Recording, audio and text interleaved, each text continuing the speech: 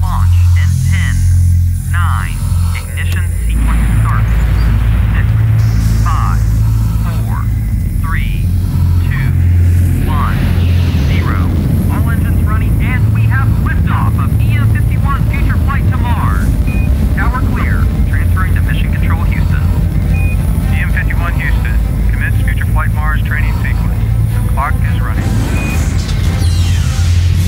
are strapped into the Orion spacecraft atop the NASA Space Launch System, the most powerful rocket ever built, accelerating to 24,000 miles per hour on a journey that will take you farther than anyone has ever dared from our home world.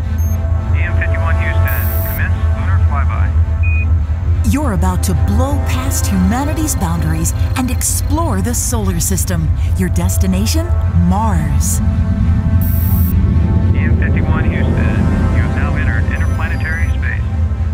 As you begin your nine month journey to Mars, 1,000 times farther than the moon, all that's familiar gets smaller and smaller.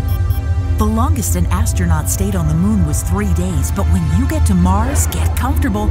It will be your home for the next six months. That's when the window for a return trip to Earth opens. EM-51 Houston, go for Mars descent. Thanks to thousands of scientists and engineers who have been working with NASA, everything you need to survive on Mars is ready and waiting. So when you take that first step, you can get right to your mission, exploring the Red Planet. EM-51 Houston, we show you down. Welcome to Mars. Look around. NASA will discover if Mars once held life, or if it still does, and determine if humans could make a permanent presence here. Your future Flight Mars training mission is accomplished, and it's game time.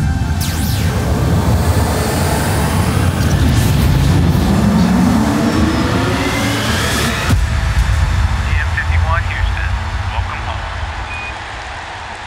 Thank you for riding Future Flight. Carefully loosen the chin strap and remove your VR headset. Unclip the VR headset safety tether, then disconnect the seat strap and lift up the shoulder harness. A ride attendant will assist you as needed. Please proceed to the exit gate to return your headset.